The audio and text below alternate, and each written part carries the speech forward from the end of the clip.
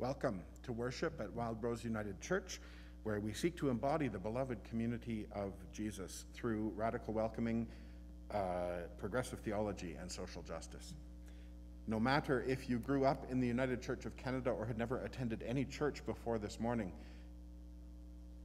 you are welcome and it's good that you're here. No matter if you come full of optimism and joy or burdened by shame or grief or fear or anger, there is a place here for you. No matter if you come seeking answers or only wish to better understand the questions, all God's children of every color of the rainbow are embraced as sacred, treasured, and made in the image of God. My name is Murray Speer. My personal pronouns are he and him, and I'm privileged to be the minister here at Wild Rose United Church. With me in the sanctuary providing leadership are Dan Sommerville and Diane McKenzie, Karen Nell Bennett, Linda Ellis, Hazel Buchanan, uh, Don McIntosh, Corinne Salajano, and Bill Aitken.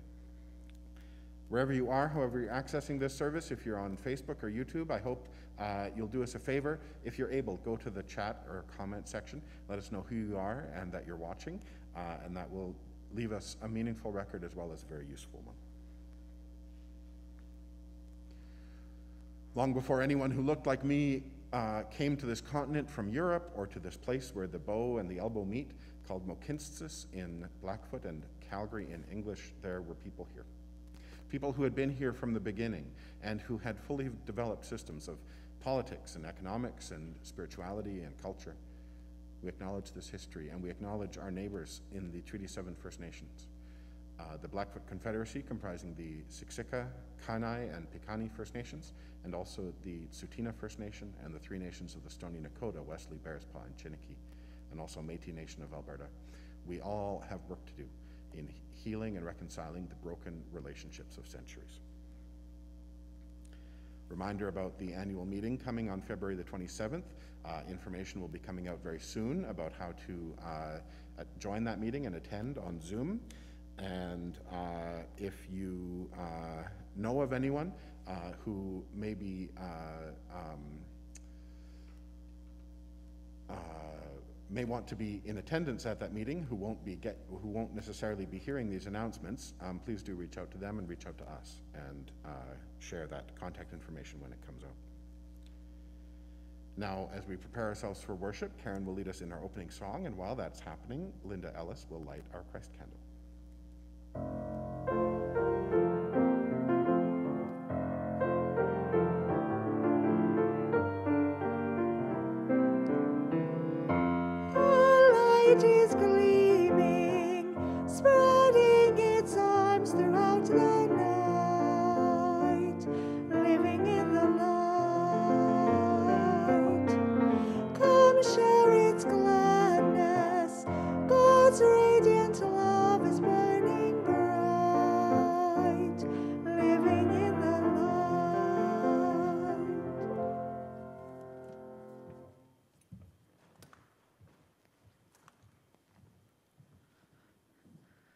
Please join me in the call to worship. Your responses are in yellow. Righteous is your instruction, O Holy One. Return to your people with mercy as is right. Rivers of tears stream from my eyes. Reliance on you is the way of understanding. Redeem me from all that oppresses and threatens.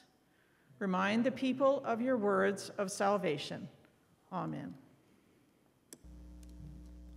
So you may have noticed that every line in that call to worship started with the letter R. That's because uh, Psalm 119 is uh, it's one of the longest or the longest psalm. It's 176 verses, and the reason it's 176 verses is because it's 22 sets of eight verses that start with um, succeeding letters of the Hebrew alphabet or the aleph-bet, as it's also known. Um, and so I believe it's very difficult. It's not easy to do, but I believe that when we use that that uh, psalm, we should be trying to retain the acrostic uh, structure where each section of eight verses starts with the same letter.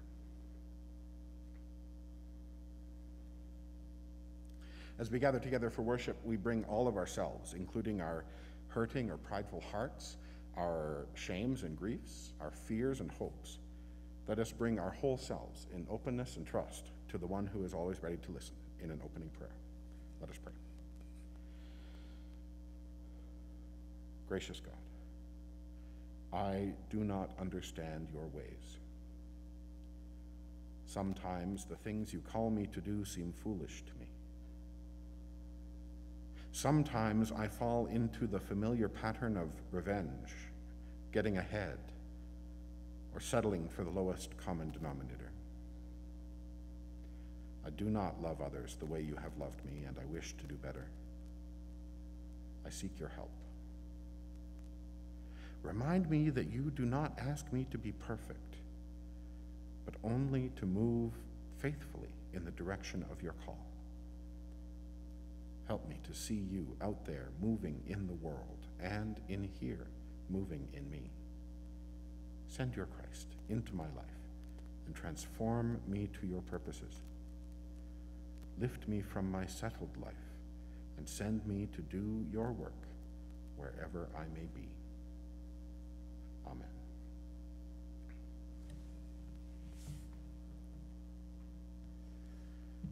Peace candle is a tradition that has spread from congregation to congregation since the mid 1980s, and now it has come to us here. Peace is characterized not by the absence of conflict, but by the presence of justice. Peace is the state that emerges in our midst when those who have much do not have too much, and those who have little do not have too little. When the very old and the very young feel supported and secure, parents can feed their children and themselves, and all have the opportunity for meaningful work in their community. As I light this candle, let us commit ourselves to pray and work for that kind of peace.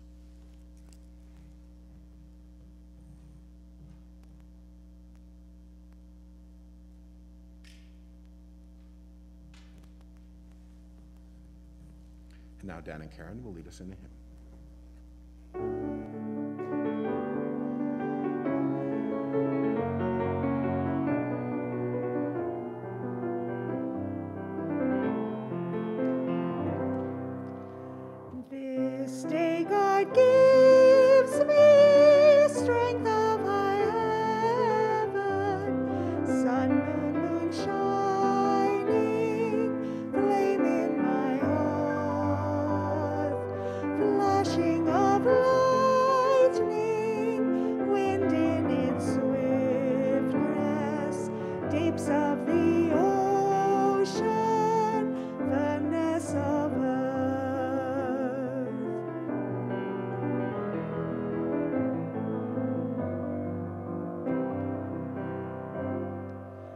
This day God sends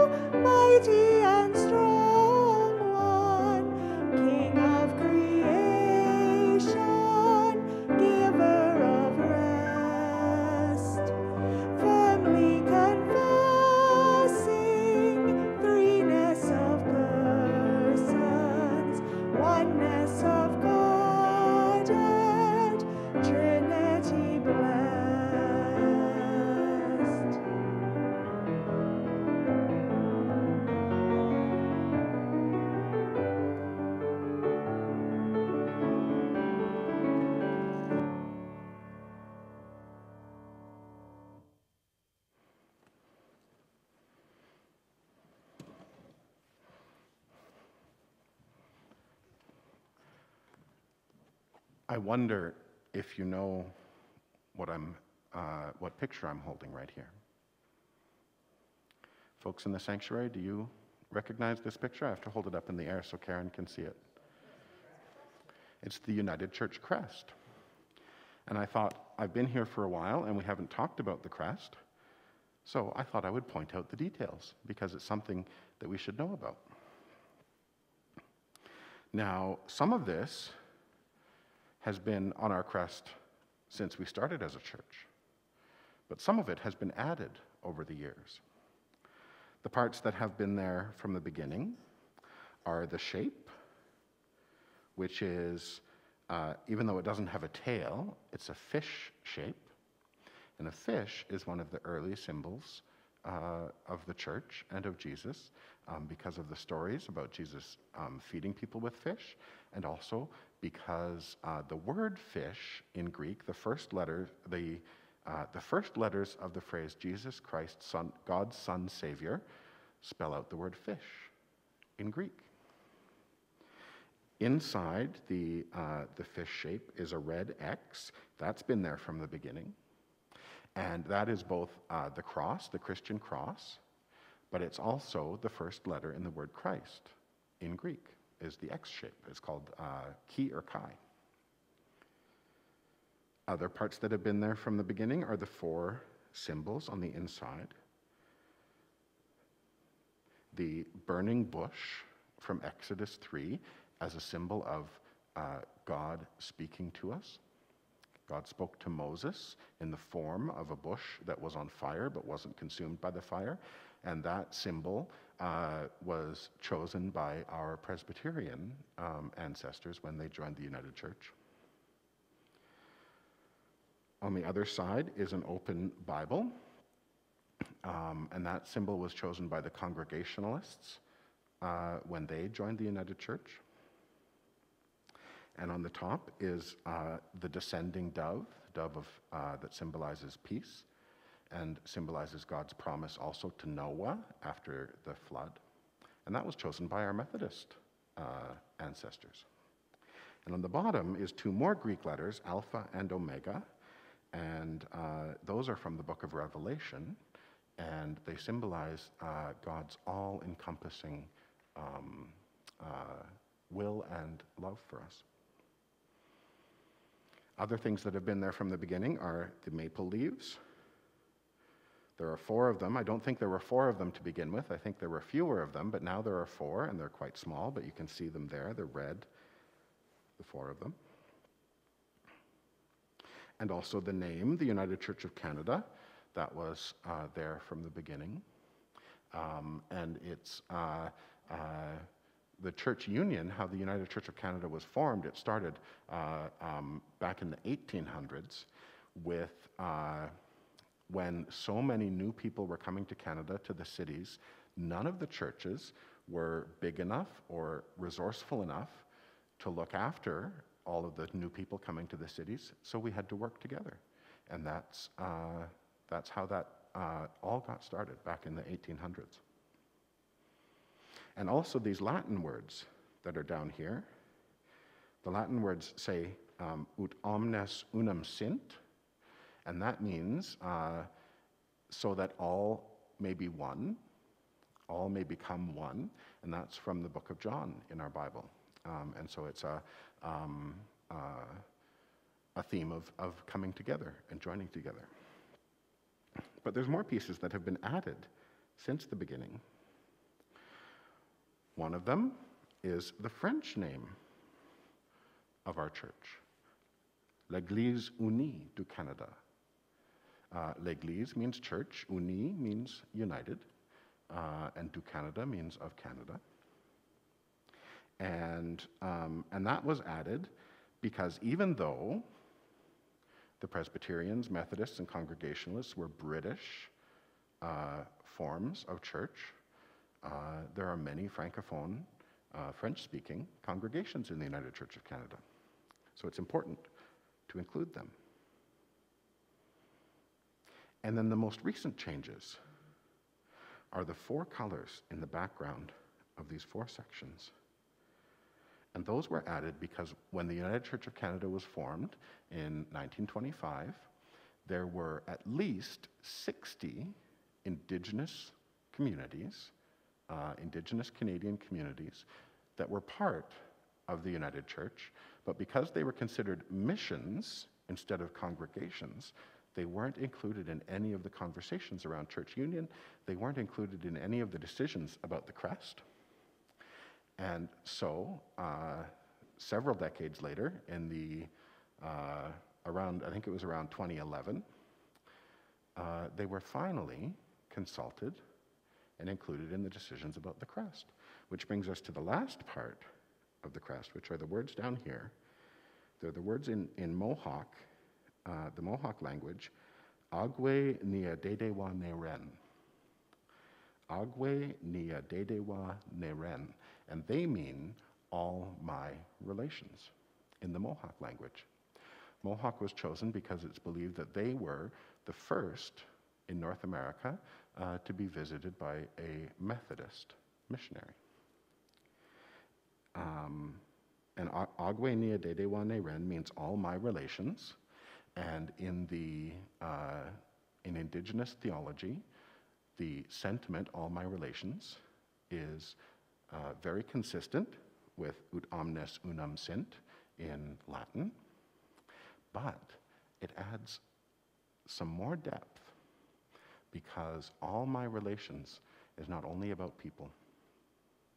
All my relations is about forests and animals and rivers and stones and oceans and the sky and the clouds and the sun and the moon. All my relations. So, those are all the parts of the crest. And I don't know about you, but I'm glad that when we talked about changing the crest in around 2011, whenever that happened, that we decided to keep what was there and just to add more and just to include more more symbols, more people, uh, more meaning, more depth. Thank you so much for listening today. I believe uh, we're going to have a recording from our choir.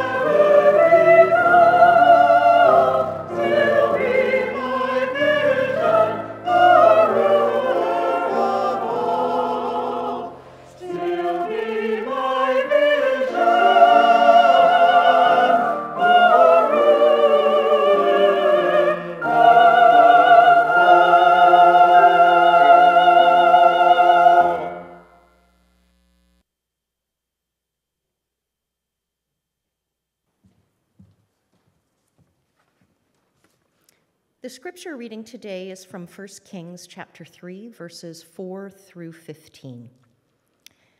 The king went to the great shrine at Gibeon in order to sacrifice there. The king's usual, off, the king's usual offering on that altar was a thousand entirely burned offerings. The Holy One appeared to Solomon at Gibeon in a dream that night.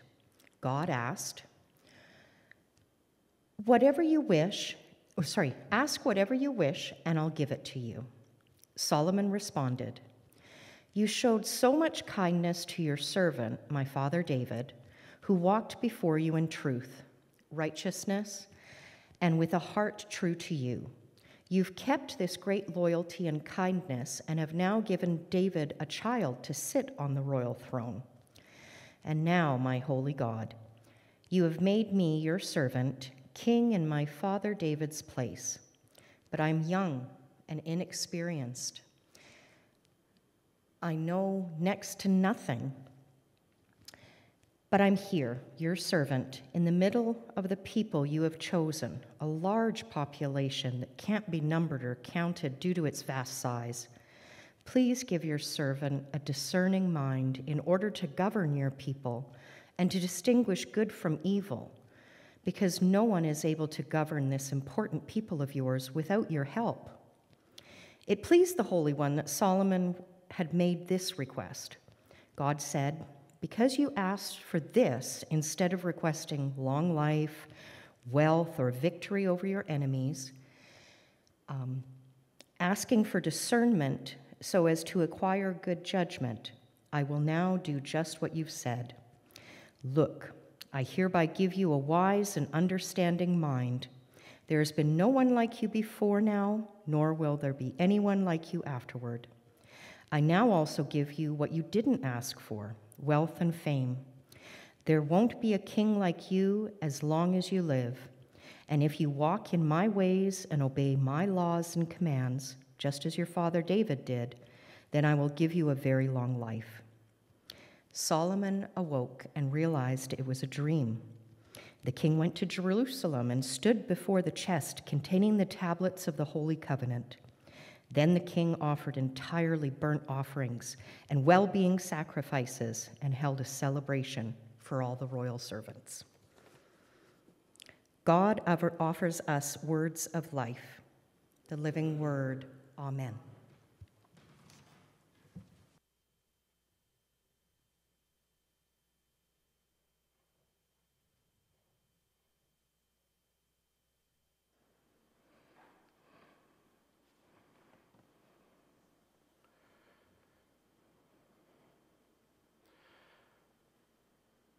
The stories we tell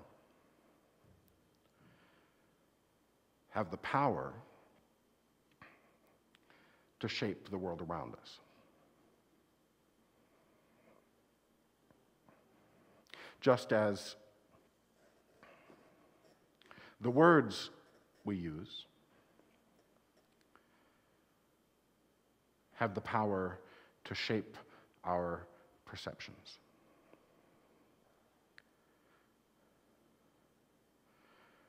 There's fascinating research about how if we don't have a word for a thing,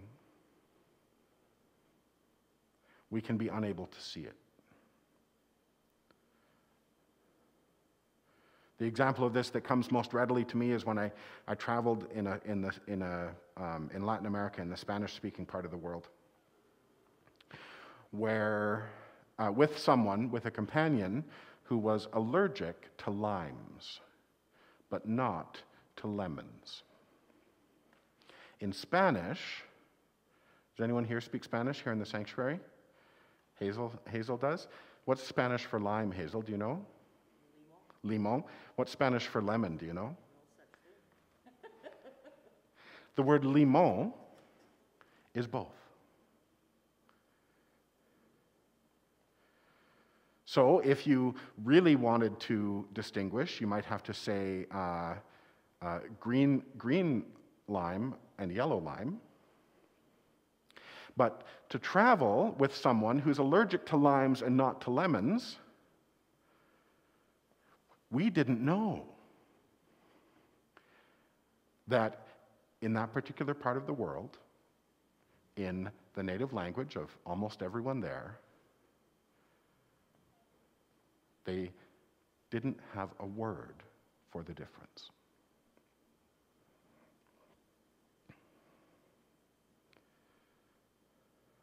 There's other examples. There's some very compelling uh, arguments that suggest that there was a moment in the development of human culture, Western culture at least, where we discovered the color blue.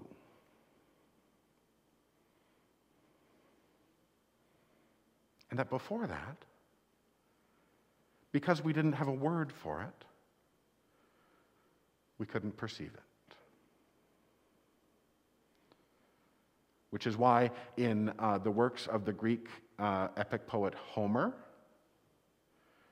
the ocean is not described as being blue, it's described as being wine dark.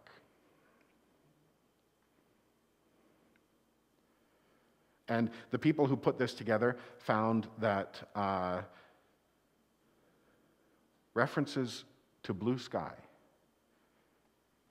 have a starting point. And it makes some sense because, except for uh, a rare mutation in human eyes and uh, certain flowers, the color blue is extremely rare. But it's not only words that shape our perceptions, stories also shape our reality in the same way.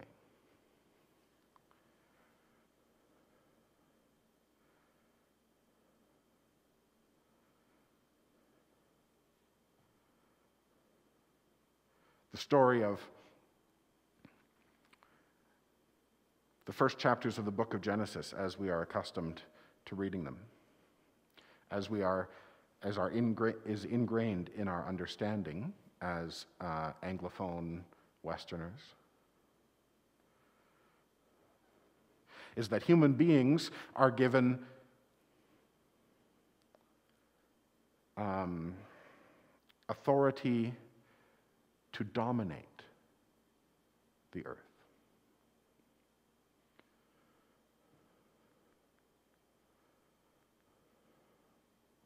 But in another story,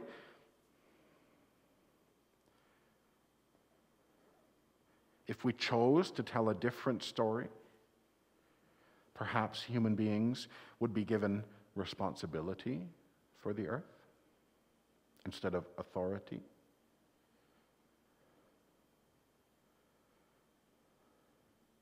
Perhaps we may even be given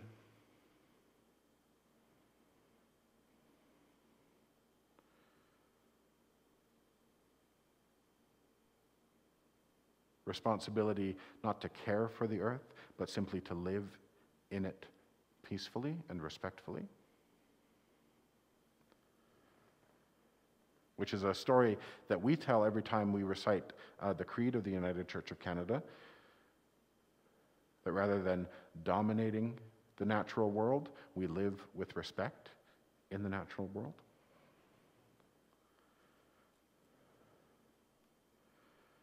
And so we must be careful.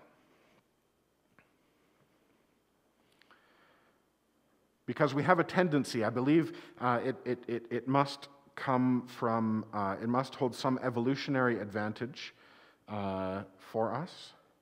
We have a tendency when a story comes past us, a news story, for example, that is consistent with our existing assumptions and perspectives, we tend to take it at face value. And sometimes we get tricked by satirical news stories, news stories that are, uh, that are, are, are, uh, are not true at all, but are meant as comedy, but we, because they are consistent with our existing understandings, prejudices, I remember one that I fell for recently. Thankfully, I, I caught it uh, before I had spread it too far, but it was, it's a particularly funny one and low stakes, so I'm comfortable sharing it with you. It's about the actor Chris Pratt, the Hollywood actor Chris Pratt. And the news came out that he had been cast to play Super Mario. And uh, the news story was that in the responses, in, in the responses to him being cast to play Super Mario, he said, first of all, he said, I won't be doing an Italian accent, I'll be doing my normal accent. And then the news story said that he said, because Mario isn't Italian anymore, he's normal now. And I fell for it. Because it seemed to me that that is something that might slip out of his mouth without him thinking all the way through what the implications were. But it was made up, it was false. But we tend to dig deeper into stories that are inconsistent with our existing perspectives, understandings. And when they confirm our existing perspectives and understandings, we take them at face value. It's something wired into us that we have to teach ourselves not to do this.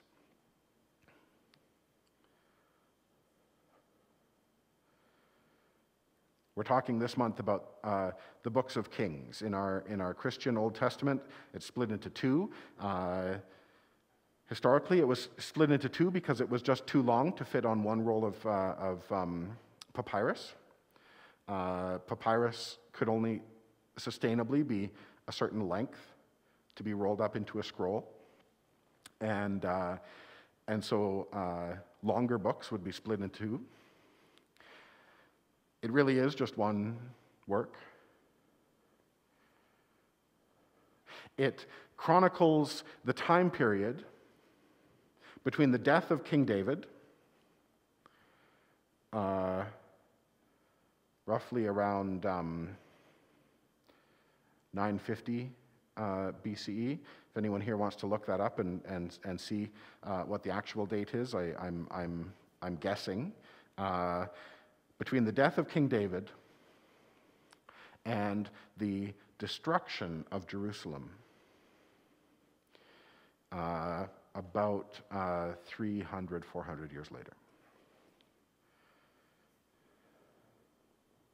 It chronicles the split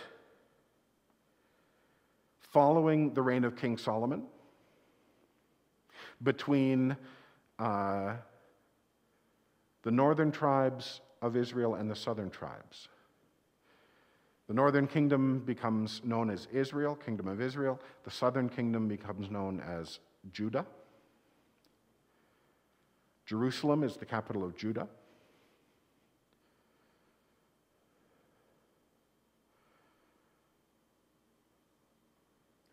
The capital of the northern kingdom moves around.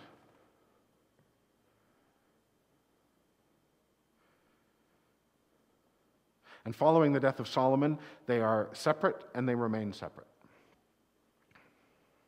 The northern kingdom uh, falls to the, uh, I don't remember which, uh, I, I, don't think it's the Neo Babylonian, I don't think it's the Babylonian Empire, I think it's the Neo Assyrian Empire.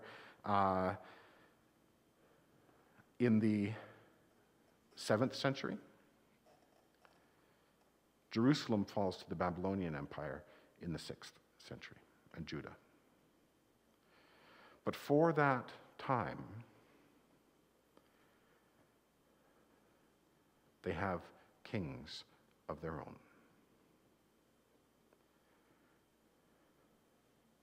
So, for the rest of this month, we'll be talking about some of those kings. And we'll be talking about the prophets who speak to the people on behalf of God and who speak to the king on behalf of God and the people. But before we get to that, we have Solomon.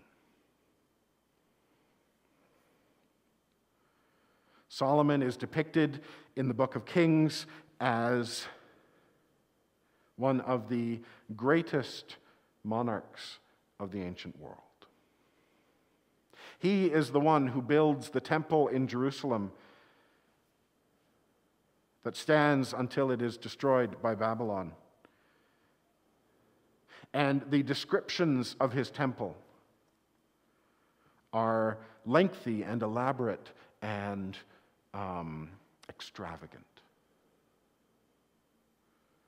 With the amount of gold and fine cedar and uh, uh, stonework.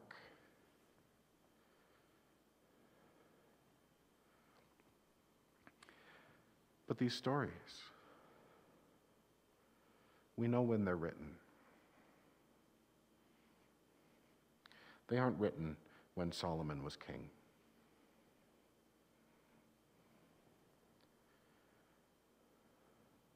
Because the book of Kings ends with the destruction of Jerusalem, the destruction of Solomon's temple at the hands of the Babylonian Empire.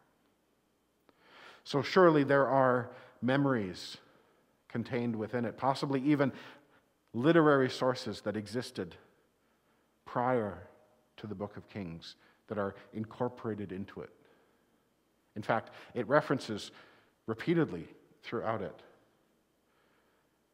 the book of the deeds of the kings of uh, Judah and the book of the deeds of the kings of Israel. Literary sources that pre existed, that no longer exist. But Kings itself is written with full knowledge of what happens to Solomon's temple in the end, of what happens to Solomon's dynasty in the end.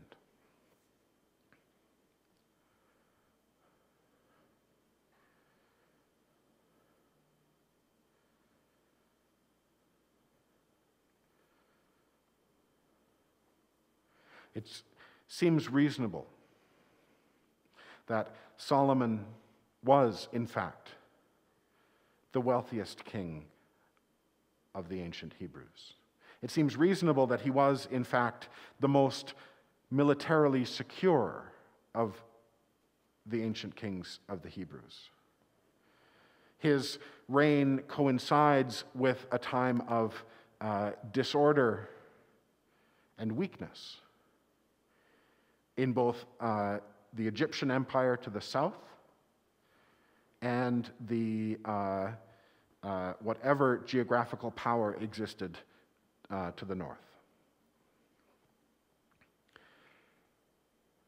The other empires of the time were not a serious threat, and so Solomon was able to expand, to breathe, to build culture, to build wealth. but the extravagance of the description of the temple.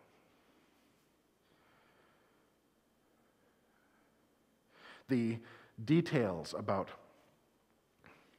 how much wood was sent from Lebanon, how much gold was gathered from surrounding nations.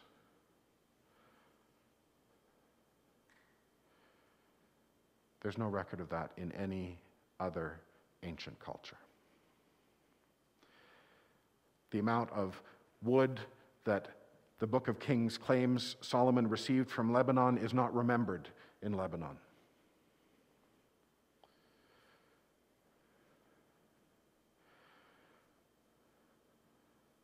Solomon, the wealthiest king of the ancient world, as he's described in the book of Kings, is not remembered as the wealthiest king in ancient history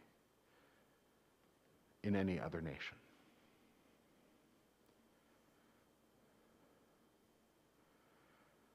So we're left to ask ourselves if this story, if this story written down in the time of destruction and failure and fear and uncertainty is not meant to construct the past, but is meant to, in fact, as stories do, construct a present reality and a future reality.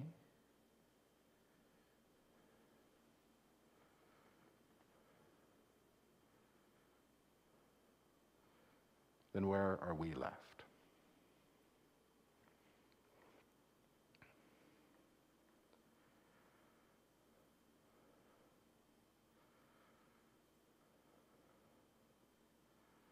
Solomon asks God for wisdom and a discerning mind.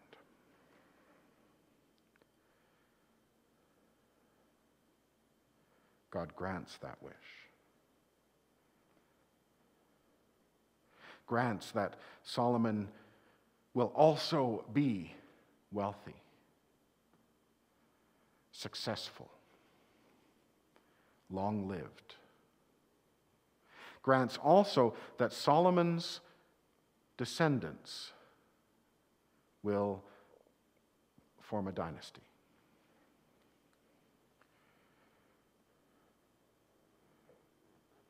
But Solomon, in all his wisdom, if we read on in his story,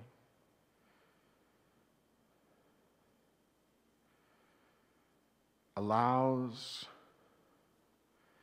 his wives from other ethnicities to continue their forms of worship.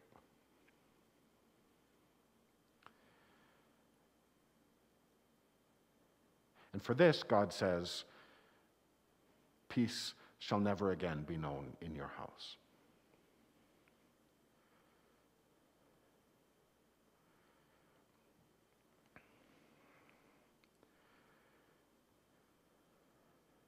The point of the story is not that Solomon is a wise king or a good king or a mighty king or a rich king.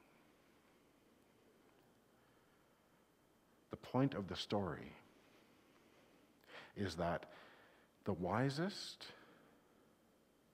most powerful, wealthiest, most popular king in the history of the Hebrew people, failed.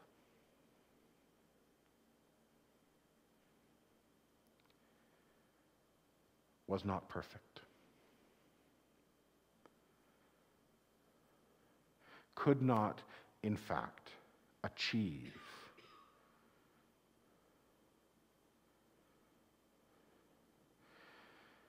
this vision. A vision that runs through this section of our Old Testament, starting with uh, the book of Deuteronomy and continuing to the end of the book of Kings. A vision of purity and perfection and ideal worship.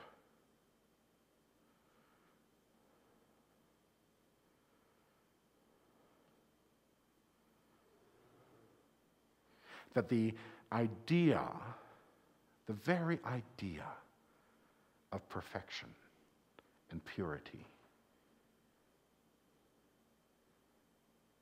is not even achievable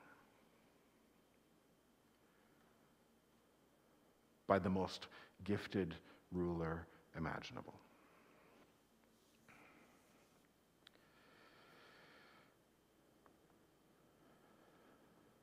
The stories we tell shape our reality. Last week, uh, last Sunday, we celebrated uh, Holocaust uh, Memorial Week. Uh, and on the week of the Holocaust Memorial, you may have seen this in the news, uh, a book was removed from school libraries in a certain uh, county or a certain state in the United States. I don't remember if it was, if it was at the county level or at a state level. It's a book that uh, I couldn't bring with me today because it's been packed up for a few years, but I have it. It's called Maus. It's a graphic novel, uh, uh, uh a cart, uh, uh, cartoon format graphic novel. Written by a New York cartoonist, a Jewish New York cartoonist, based on the stories of his, and now I'm going to reveal that I, I, I, I, didn't retain the details, it, it, his father or grandfather, of the experience of the Holocaust, starting in Poland and ending in Germany, as Pol- a Polish Jew.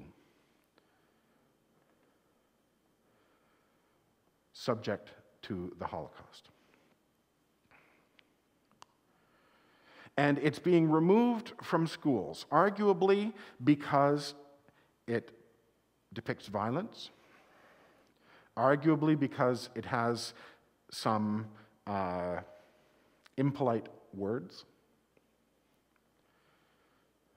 But the greater context is this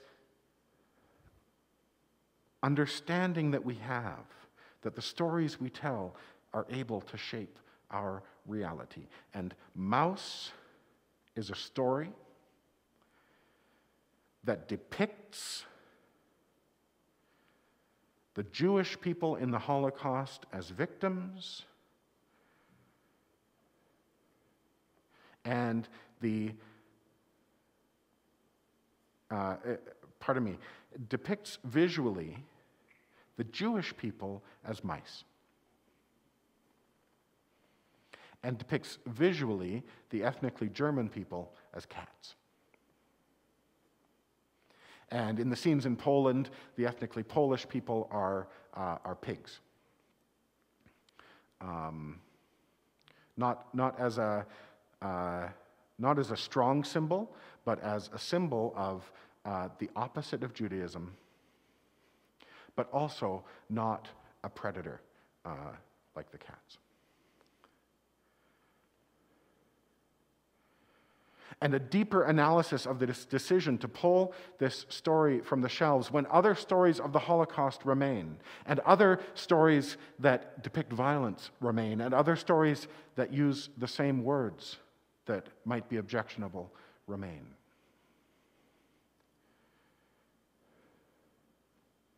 Is that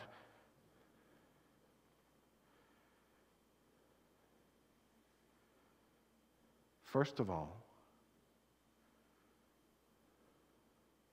This is a story with no Savior. Think of other stories of the Holocaust that you're aware of Schindler's List, white Christian Savior, The Diary of Anne Frank. Well, eventually they were found, but that was not the fault of the person who was protecting them, who was a white Christian Savior.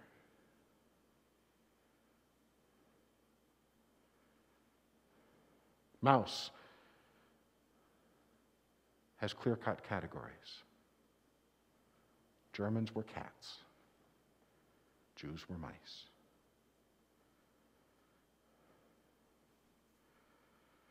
Maus has no savior, white Christian or otherwise. It is simply a story of survival in a hostile world.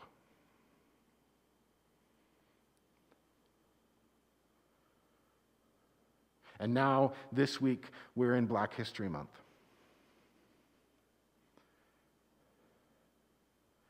In a year when school boards, not only in the United States, but in a year when, when, uh, when our government in Alberta is changing, trying to change our curriculum.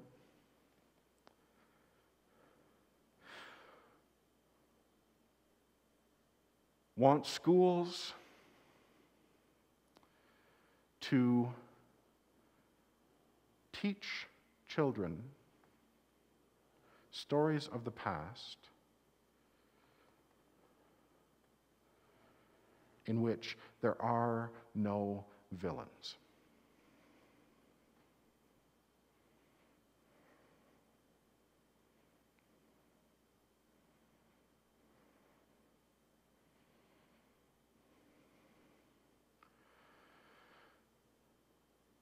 In which slavery, the exploitation of uh, an entire continent by another in order to build the society that we live in in Canada and the United States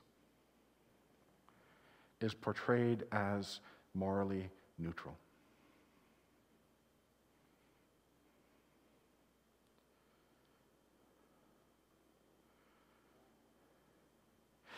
And right now in Canada, we have stories being told about convoys and blockades.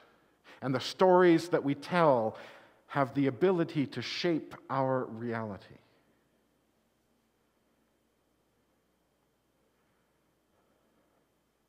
Hero and villain. King and prophet. Cat and mouse. Trucker and savior.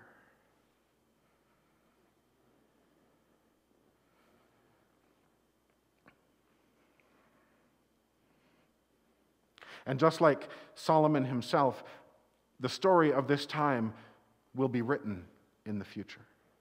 Right now, we are telling the stories of our past.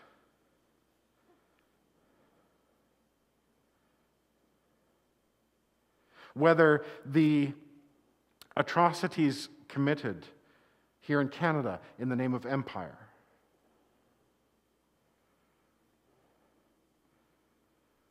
were necessary, excusable,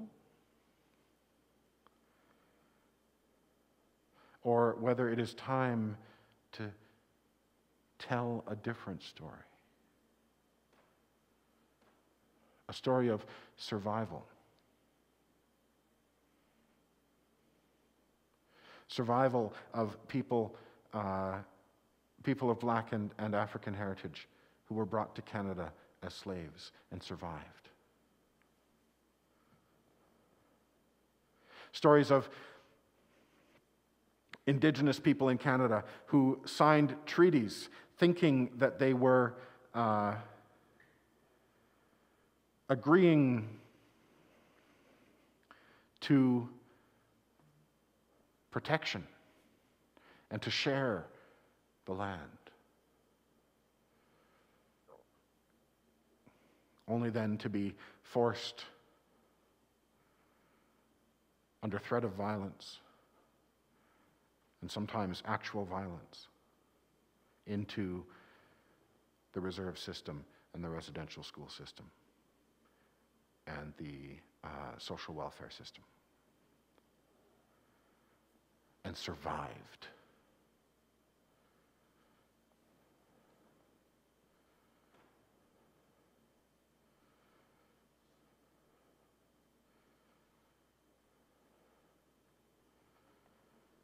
Solomon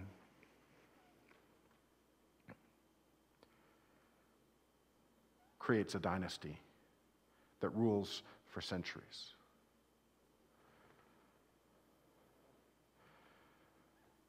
But no one ever quite matches up to him.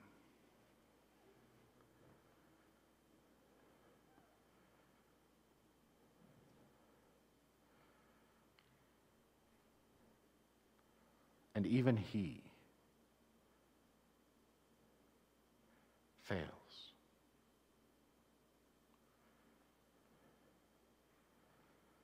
And that failure is compounded and compounded and compounded until the homeland is destroyed, the temple is destroyed, the capital city is destroyed, and the people are carried off to live in the city of Babylon, but they survive.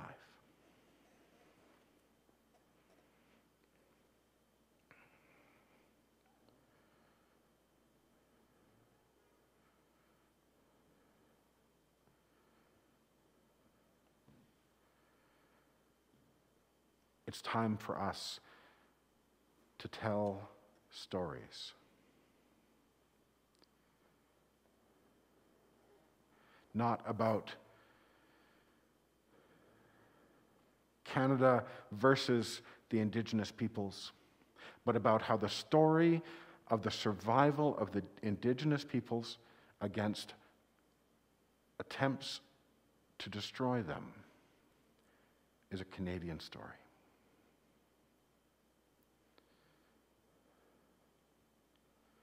It's time to tell stories about black history where instead of the story being about whether slavery was useful or necessary or uh, um, justifiable, forget about that and tell stories about how the survival of black people and African heritage in Canada and the United States is a Canadian story.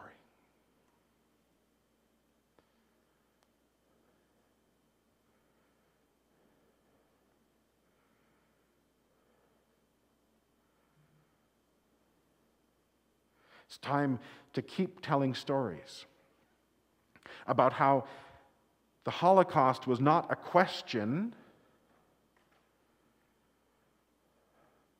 of whether white Western Christian saviors would be able to rescue the Jews.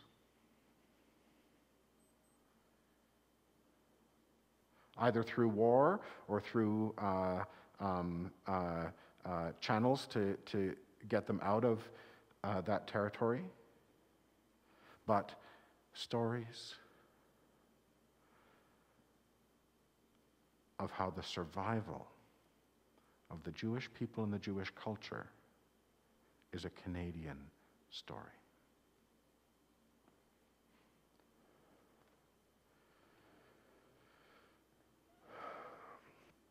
And maybe, if we do it right, if we tell the stories to each other the best way we know how,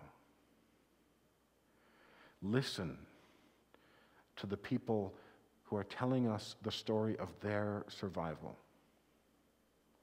And not turn that story into a story about heroes and villains and great leaders and rescuers and saviors, but listen to the words of survival.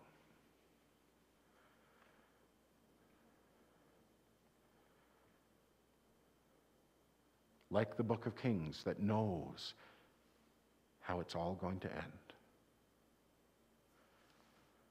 Maybe the people who tell our stories in years to come will be able to tell stories about people who weren't perfect, who weren't pure, who weren't able to get it all right, but who were able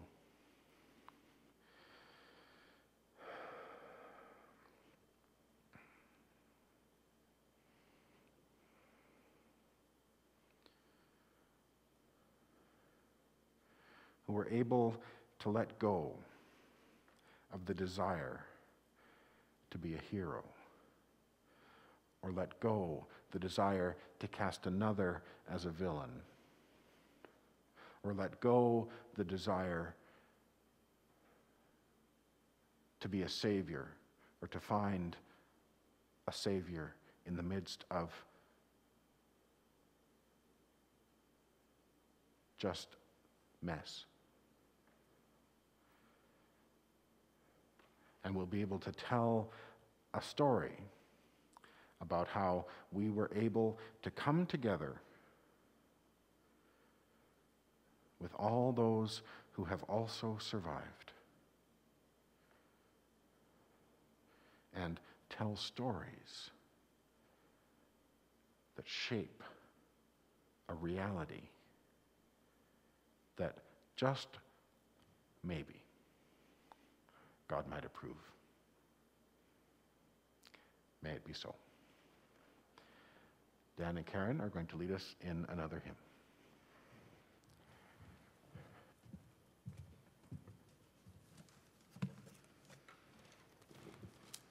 Who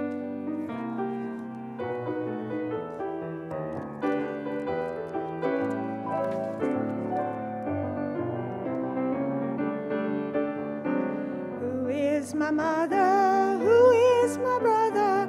All those who gather round Jesus Christ. Spirit blown people, born from the gospel, sit at the table round Jesus Christ. Differently abled, differently labeled, widen the circle round Jesus Christ. Crutches and stigmas, cultures, and enigmas, all come together round Jesus Christ. Love will relate us, color or status, can't segregate us round Jesus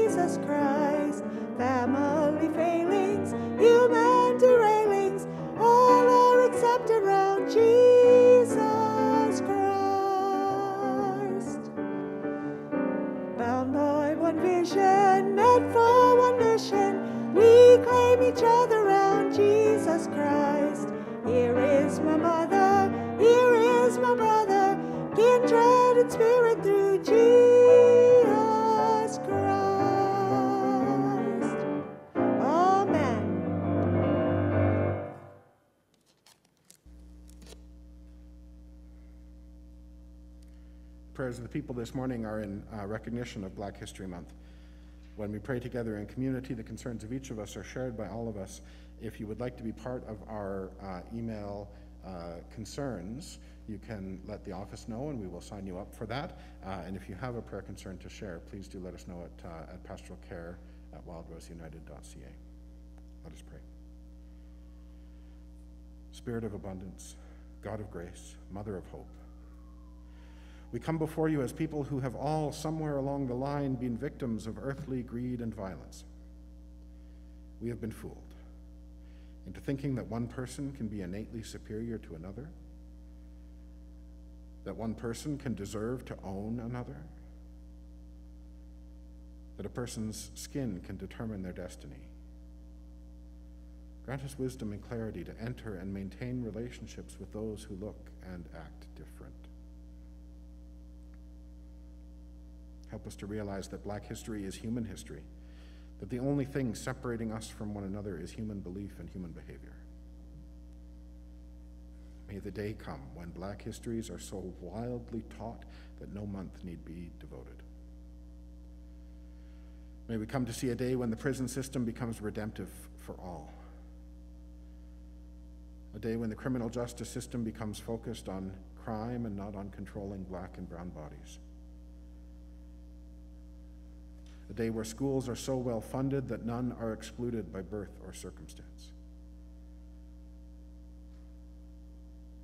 We raise up before you today all who are even now sold into slavery around the world, and those who await the return of vanished children, parents, and spouses. We raise up before you those who are exhausted from war, famine, and sexual violence established and encouraged by colonial and imperial powers.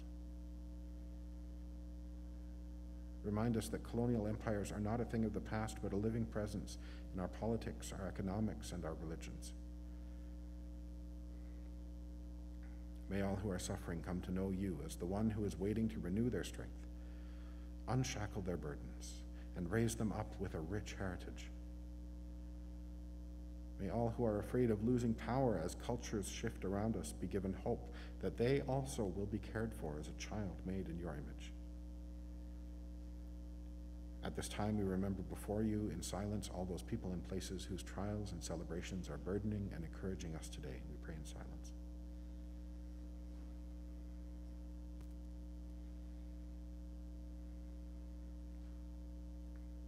We are most human when we see the humanity in others. Widen our vision so that our love embraces all whom you love. We gather these and all our prayers, thankful that we may turn to you as to a grandmother who watches over us and pray together as Jesus taught. Our Father, who art in heaven, hallowed be thy name.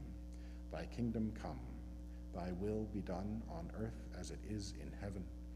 Give us this day our daily bread, and forgive us our trespasses as we forgive those who trespass against us. And lead us not into temptation, but deliver us from evil.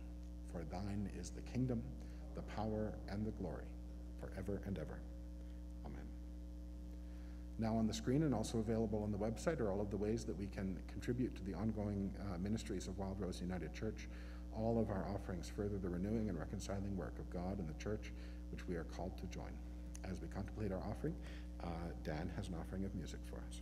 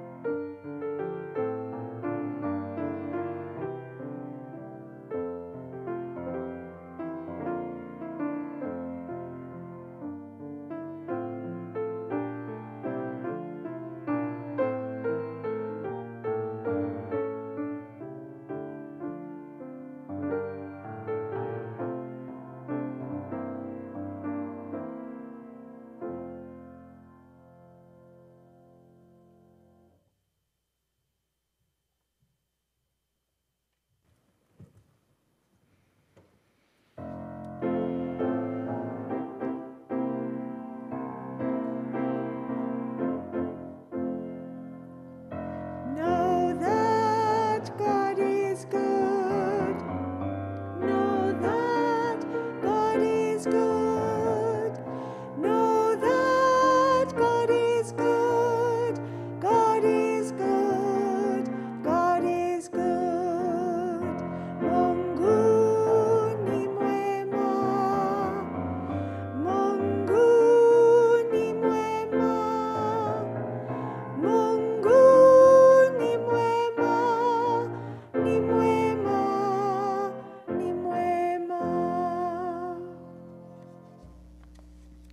pray.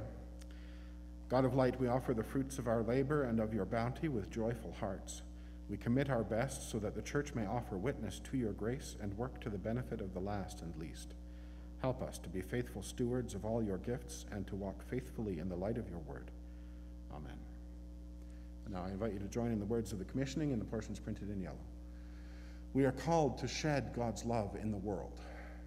Let us carry a spirit of compassion with us. We are called to preach the gospel using words if necessary. May our actions speak louder than words. May Christ journey with you as you go. Let us travel together with joy and hope. Amen. Now may the God of peace equip you with all good things as you follow the call and lead you on your holy path through Jesus Christ, to whom is everlasting glory, as together we go forth.